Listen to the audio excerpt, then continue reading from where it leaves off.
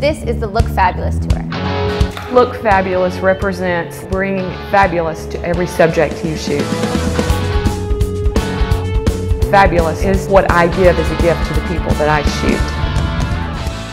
This is not a class or a tour intended for people that want to be fashion photographers.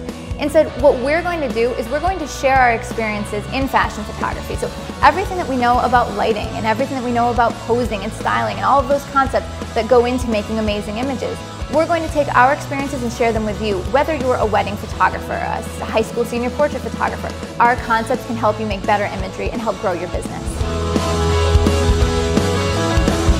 Divided in two parts, and the first part is the master class. We will first teach you everything, then we will each put you into an experience where you'll get to exercise the techniques that we're going to show you.